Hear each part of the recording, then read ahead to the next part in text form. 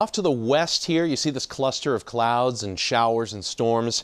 The atmosphere is trying to set up out here such that maybe some of these storms develop into a little bit of a line for this afternoon and try to march eastward with this decaying cold front. Now, I say decaying, the energy is kind of going away, but the fact that we have the sun out there is helping to percolate our atmosphere.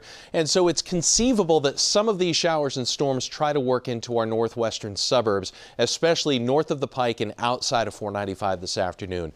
I'm not expecting a whole lot of severe weather, but one or two of the thunderstorms may put down a gust or two of wind. Uh, just, just keep an eye on that this afternoon.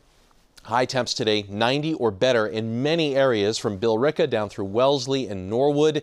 We'll zoom out again and I'll show you the temperatures even up near 90 for Orange and Keene.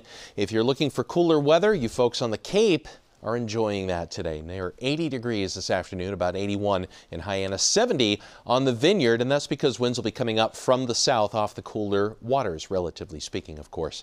So let's check out Futurecast. We'll increase the clouds a little bit as we step into the afternoon hours today, and then watch as a couple of these showers and storms try to work toward the Connecticut River Valley north and west of Worcester come through and then they fizzle by about 9 o'clock tonight. Not expecting a whole lot of weather from these, but again, if you happen to end up underneath one of them, some gusty winds and some uh, heavy downpours are a possibility stepping on through the day.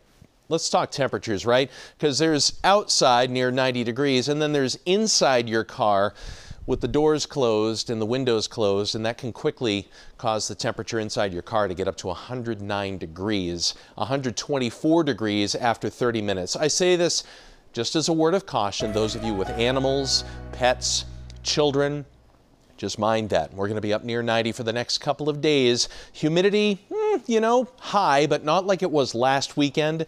Heat indices probably in the middle and upper 90s perhaps by Tuesday, and cooling showers move in to dry us out as we head toward Friday.